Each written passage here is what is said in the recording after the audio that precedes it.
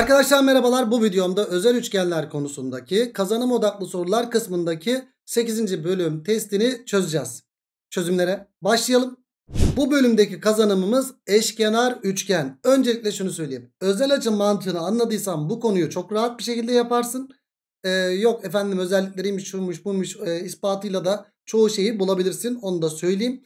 Ee, dediğim gibi özel açıda çok da rahat bir şekilde yapılıyor. Eşkenar üçgenin tanımını vermiş burada. Çizilen yükseklik 30-30 diye bölüyor. İşte K, K küçük falan oluyor. Sonra eşkenar üçgen içinde alınan bir noktadan özelliğiyle direkt verilmiş. Kollara çizilen paraleller toplamı bir kenara eşit. Bilseniz de olur bilmeseniz de olur ama genelde biliniyor. Siz de bilseniz ya biliyorsunuz zaten de. Şu e, şeye benziyor. İkiz kenardaki hani tabandan alınan bir noktadan kollara çizilen paraleller toplamı var ya.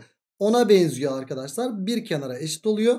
Dikmeler toplamı da bir yüksekliğe eşit oluyor arkadaşlar. O da yine ikizkenardaki özelliğe benziyor. Tabandan bir noktalı kollara dikmeler çizdiğimizde o dikmeler toplamı bir yüksekliğe eşitti ya. Burada da içeride bir yerde alındığı zaman bu dikmelerin toplamı bir yüksekliğe eşittir diye biliyoruz arkadaşlar. Ha bilmeseniz de yapabilirsiniz arkadaşlar ama bazen şu hata yapıyorsunuz.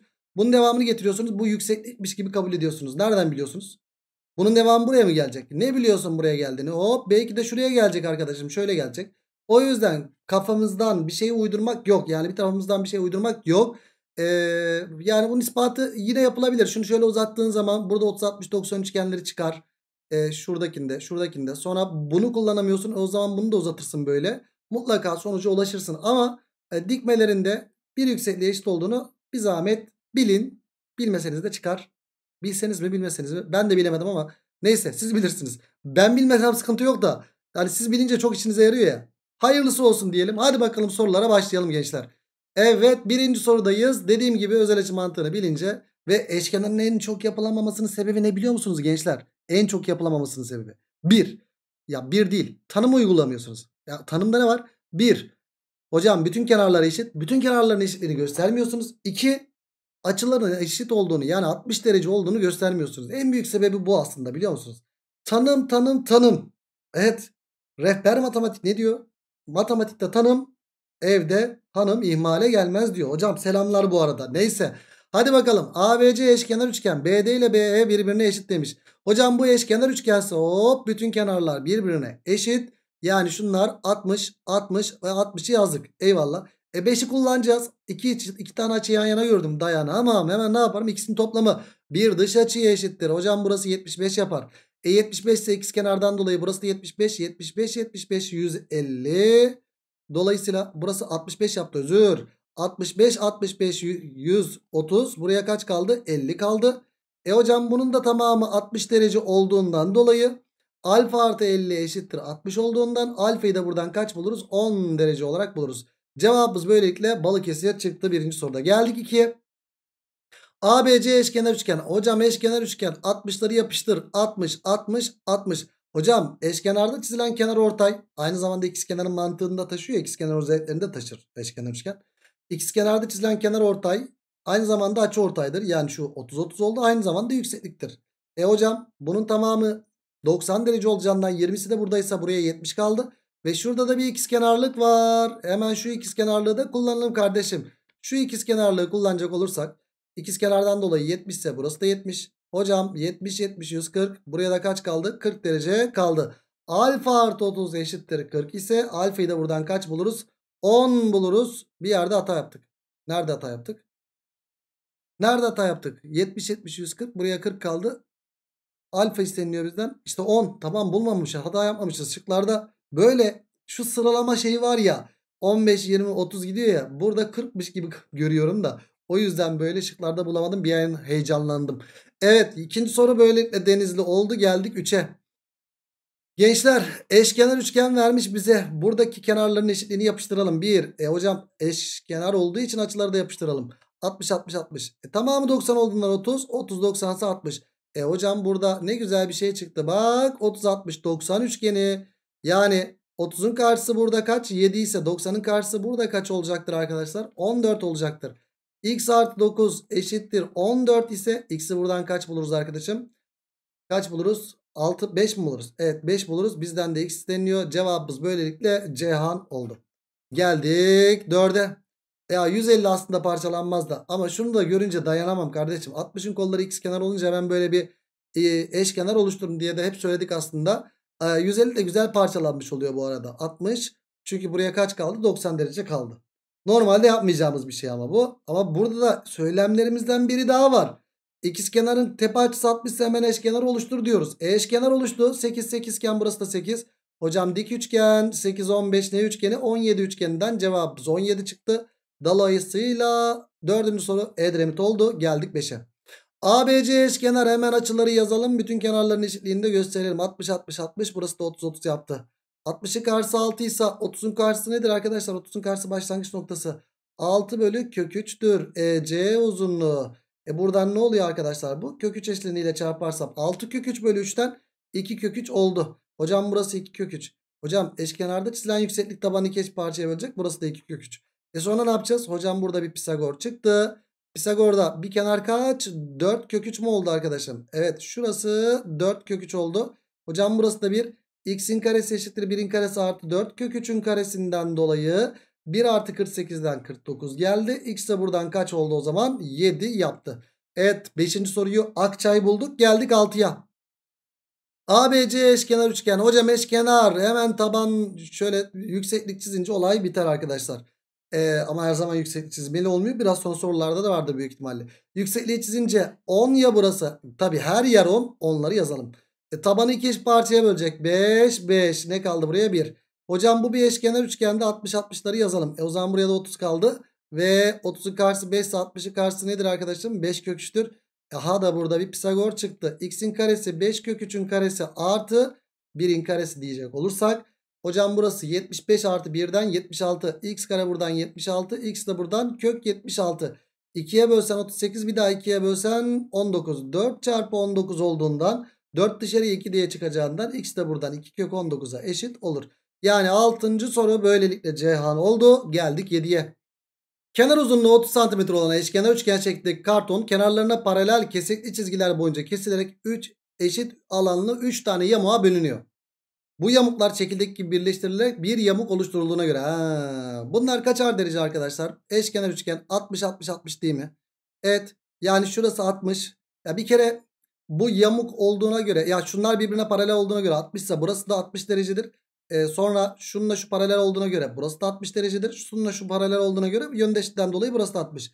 Bütün yamuklar 60-60 mı oldu arkadaşlar? Evet. Şurası da 60. Burası da 60. Burası da 60. Burası da 60 oldu mu? Oldu. Şimdi gençler bu şekilde bu yamuklar bu şekilde bir yamuk daha oluşturuyormuş. E arkadaşlar madem bu şekilde bir yamuk oluşturuyor. Şu 30-60-90'ı kullanmak için dik çizsem. Buradan da dik çizsem. Hocam karşılıklı kenarlar paralel olduğu için şu içeride bir dikdörtgen oluştu. Şurada da bir 30 60 90 üçgen oluştu. 30'un karşısına ben x dersem burası nedir? 2x. Burası x kök 3 oldu. Hocam burası da x kök 3. 60'ın karşısı x kök 3 30'un karşısı x'tir. 90'ın karşısı da nedir? 2x'tir. Aynısı diğer kenarlarda da mı vardır arkadaşlar? Sonuçta buradaki yükseklik x kök 3. Sen buradan çizsen yükseklik x kök 3. 60'ın karşısı x kök 3 30'un karşısı x'tir. Burası da 2x mi yaptı? E, aynı şekilde yüksekliği çizsem burası da 2x oluyor mu? Oluyor. Biz buraya yoğunlaşalım bir öncelikle. Dikkat et yan kenarlar ne oldu? Bütün yamuklarda 2x oldu. Şunlara bir 2x'i yazalım arkadaşlar yan kenarlarda. Bak şunda.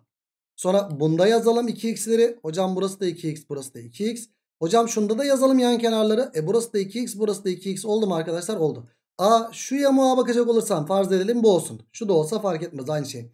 Hocam üst kenarı 2x oldu. A burası 2x ise burası da ne oldu arkadaşlar? 2x oldu. Her yerini bulduk mu bulduk. Aşağısı da 4x olmuş oldu.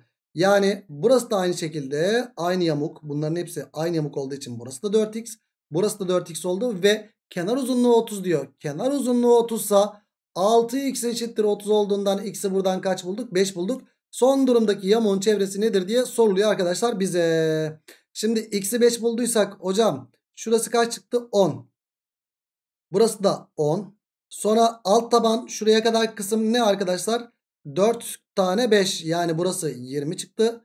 E, üst tabanı 10 üst tabanı 10 alt tabanı da kaç arkadaşlar? 20 burası 20 e buraya da 20 yazınca şu 2x'te x yerine 5 yazdığımızda 10 yazınca çevresi çıkacak mı? Çıkacak. 2, 4, 6, 7, 8, 9, 10, 11. Yani 110 mu çıkıyor arkadaşlar cevabımız? Evet. 7. soru böylelikle Balıkesir oldu. Geldik 8'e.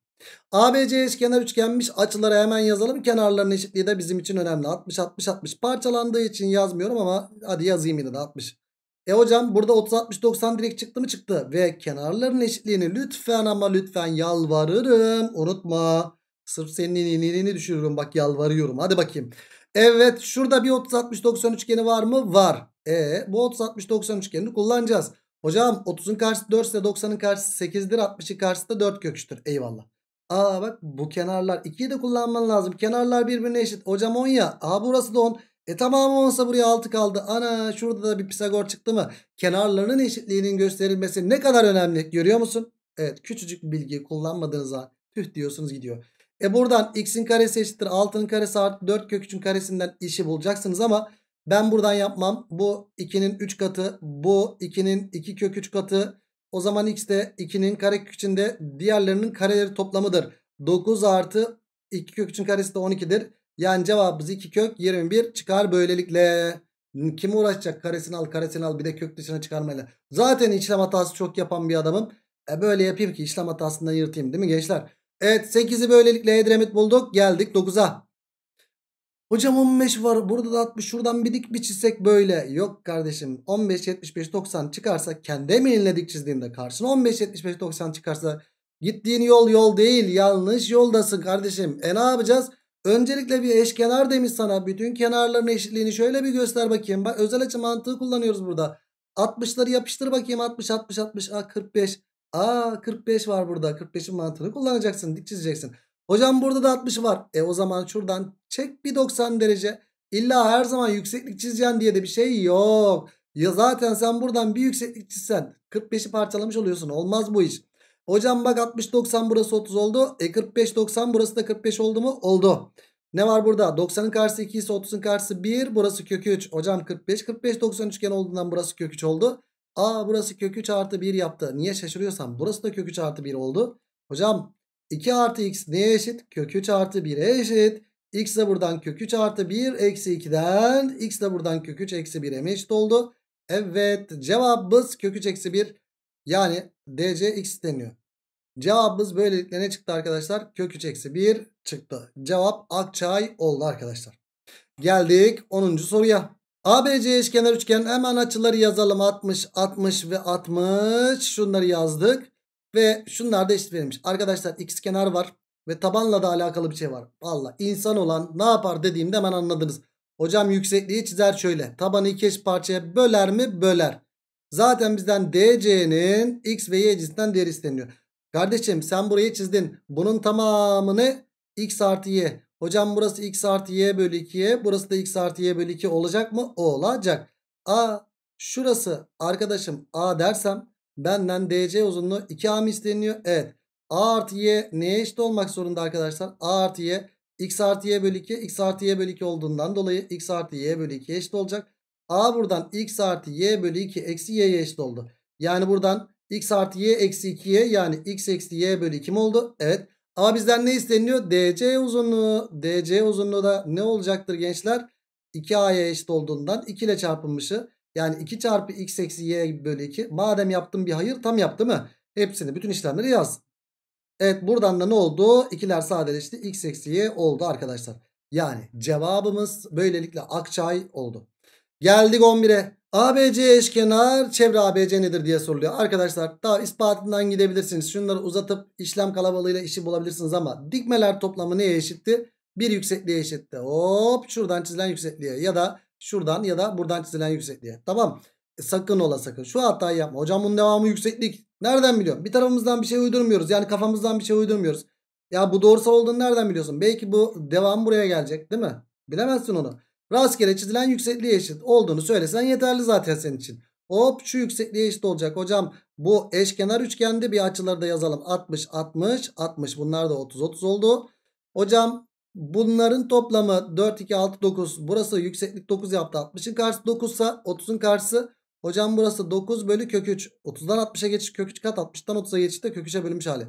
Yani 3 kök 3 yaptı. 30'un karşısı 3 kök 3 ise 90'ın karşısı kaç yapacaktır? 6 kök 3 yapacaktır arkadaşlar. E çevresi kaç yapıyor o zaman arkadaşlar bunun?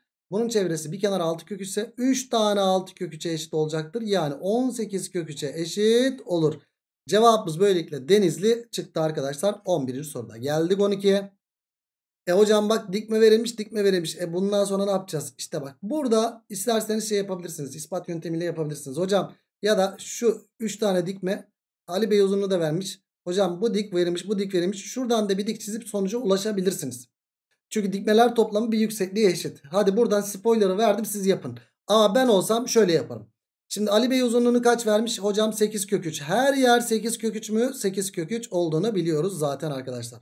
Şuralara bir 8 kök 3'leri yazalım. Hocam şunlar paralel verilmiş. E şu 60'ları da bir yaz kardeşim. 60 60 60.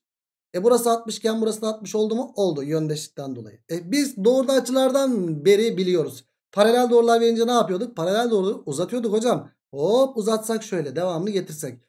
Devamını getirdiğin zaman 60 60 ise burası da 60 oldu mu? Oo şu bir eşkenar üçgen oldu. Çok güzel. Hocam 60'ı karşısı 3 ise burada da 30 var. 30'un karşısı 3 bölü kök 3'ten kök 3 çıkar. 90'ın karşısı kaç çıkar? 2 kök 3 çıkar mı? Çıkar. E hocam ben bu 3'ü kullanacağım. Şu 3'ü kullandım. Bu 3'ü nasıl kullanacağım? O buradaki 3'ü de hop şuradan bir dikdörtgen oluşturarak dik üçgen oluşturabilirsin. 30 60 90 üçgen. 3 ise burası da 3 mü? Evet. 60'ın karşısı 3 ise 30'un karşısı kök 3'e bölünmüş hali kök 3'tür. 30'un karşısı kök 3 ise 90'ın karşısı da 2 kök 3'tür. Arkadaşım ne geldi buradan? Toplamda burası e, 8 kök 3 yapacak. 2 ve kök 2 kök 3 ve kök 3'ü burada. 3 kök 3'ü burada. Buraya 5 kök 3 mü kaldı? Evet. E hocam a x'e bakacağım. X'e baktığın zaman hocam şu üçgene baktığın zaman bu bir eşkenar üçgen değil mi? Evet. Eşkenar üçgen olduğundan dolayı hocam şu kenarla şu kenar birbirine eşit olmak zorunda. Yani x artı 2 kök 3 ile x artı 2 kök 3 ile 5 kök 3 artı kök 3. Yani 5 kök 3 artı kök 3 yazayım ben oraya. 5 kök 3 artı kök 3 eşit olmak zorunda. X de buradan kaç yaptı? 6 kök 3 eksi 2 kök 3'ten 4 kök 3 yapar arkadaşlar. İşte formülsüz bir şekilde özel açı mantığını kullanarak bu şekilde çözüme ulaşırız arkadaşlar. En azından şeyde. Ha diğer türlü formüle bağımlı olarak da yapabilirsiniz ama formüle bağımlı olmak formülü size ezberlettirir. Başka da bir şey yapmaz. Ee, bu şekilde farklı bir bakış açısı da vermek istedim açıkçası.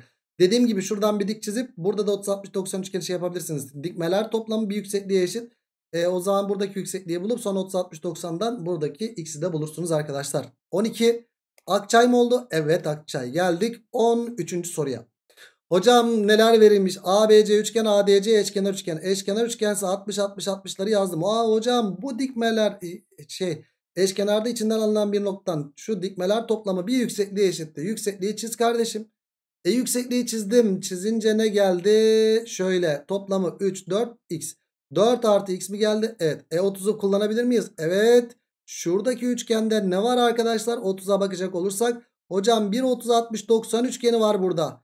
E burada bir 30 60 90 üçgeni varsa 90'ın karşısı 16 ise 30'un karşısı kaç yapacaktır? 8 yapacaktır. Yani 4 artı x eşittir 8 olduğundan x de buradan 4 mu oldu? Evet hocam 4 oldu. Yani cevabımız böylelikle 13. soruda Cihan oldu. Ve arkadaşlar 8. bölüm testinde bitirmiş mi bulunuyoruz? Yok bitirmiş bulunmuyoruz. Devam. Evet 14. soru. 14. soruda bir eşkenar üçgen varmış arkadaşlar. Eşkenar üçgen açıları yazıyoruz. Öncelikle ve bütün kenarların eşitliğini mutlaka gösteriyoruz. E ne çıktı burada? 30 60 90 üçgeni. Burada da bir 30 60 90. 60'ın karşısı 8 kök 30'un karşısı 8 çıkar. 90'ın karşısı da kaç çıkar arkadaşlar? 30'dan 90'a geçiş 2 kattır 16. 60'ın karşısı 2 kök 30'un karşısı 2'dir. 90'ın karşısı da nedir? 30'un karşısı 2 ise burası da 4'tür. Bizden şu isteniyor. Arkadaşlar bir kenarı kaç bulduk? 18. Hocam bir kenar 18 ise burası 10 oldu. Hocam bir kenar 18 ise burası da 16 mı oldu? Evet. FC. FC'yi 16 bulduk. Eksi CD 10 bulduk. Farkları kaç yaptı arkadaşım? 6 yaptı. Yani 14. soru böylelikle Akçay oldu. Geldik 15'e. Hocam 60 60 150 buradaki açıda hocam 90 derece geliyor dörtgen açıları toplamından dolayı. Ne yapacağız hocam burada? Valla daha öncelerinde de hep söyledim. 60-60 gördüğünüz zaman böyle bir üçgene tamamlayın. Ya da 45-45 gördüğünüz zaman bildiğiniz bir üçgen 45-45-90'a tamamlayın. Ya da 30-30 gördüğünüz zaman 30-30-120'ye tamamlayın. Yani o bir şeyler anımsatır. E burada 60-60 gördüyseniz üçgene tamamla. Yukarı tamamlamayla da çıkar aslında ama ben 60-60'ı görünce direkt eşkenar yaparım. Daha çok hoşuma gidiyor. Siz de böyle yaparsanız daha çok hoşunuza gidecektir mutlaka. Hocam 60 60 ise burası da ne oldu? 60 oldu. Aa bir eşkenar üçgen çıktı. Eşkenar üçgen çıktı demeyle kalma. Kenarların eşitliğini göster mutlaka. E hocam burada 62 karşısı 7 kök 3 ise 30'un karşısı kaç yapar? 7 yapar. 90'ın karşısı kaç yapar? 14 yapar. E hocam bak 19'u kullanmadık. 19 7 daha kaç yaptı? 26. Bir kenar 26 bir kenar 26 olacağından x artı 14 eşittir 26 olduğundan x de buradan ne geldi arkadaşım? 12 mi geldi? Evet 12 geldi. 15. soruyu da böylelikle ne bulduk arkadaşlar? Edremit bulduk. Evet geldik 16. soruya. 16. soruda ne var arkadaşlar? ABC eşkenar demiş. Hemen açıları şöyle bir yazıyoruz arkadaşlar. Ve kenarların eşitliği bizim olmazsa olmazımız arkadaşım. Sonra D ile bak şunu paralel vermiş. D ile AB'yi paralel vermiş. Paralelliği kullanacaksın. Verilen bilgiyi kullan. Hocam yönde ışıktan 60 ise burası da 60 değil midir? Evet 60 60 60 eşkenar üçgen çıktı. 12 ise 12 burası da 12. 60 90 ise burası 30. 90'ın karşısı 6 kök ise 30'un karşısı 6'dır. Ee, pardon 3 kök 3'tür. Çünkü yarısı 30'un karşısı 3 kök 60'ın karşısı kök 3 katından dolayı 9'dur. A 30 ile 60 yan yana gelmiş. 90 x'in toplamı. Hocam burası da 90 oldu. Aha da burada bir Pisagor. 9 12 ne üçgeni arkadaşlar? 15 üçgeninden cevabımız böylelikle 16. soruda Cihan çıktı arkadaşlar.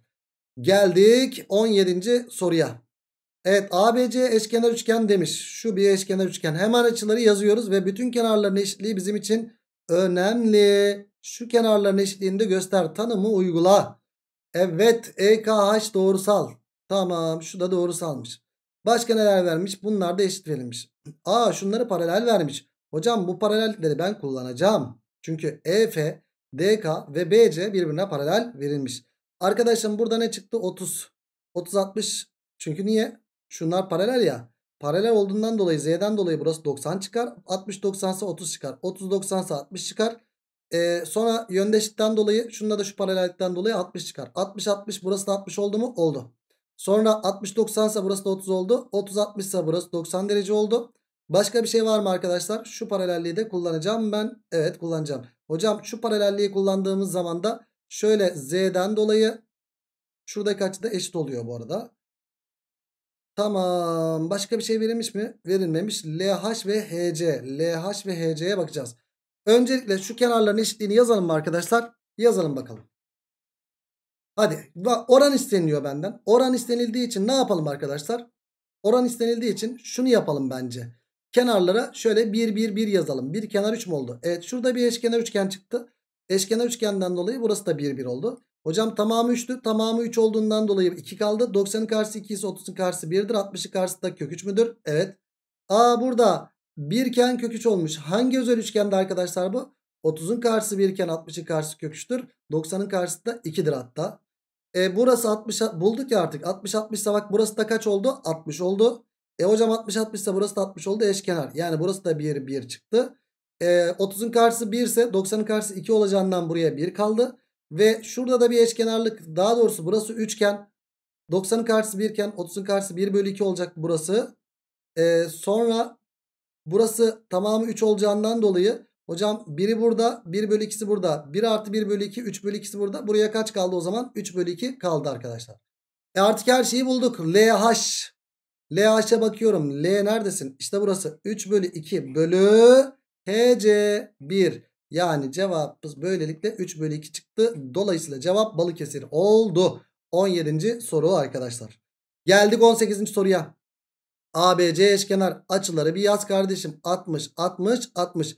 Bütün kenarların eşitliği de bizim olmazsa olmazlarımızdan. D ile AC'yi paralel vermiş. Hocam şunlar paralel vermiş boşu boşuna verilmez. Her verilen bilgiyi kullan.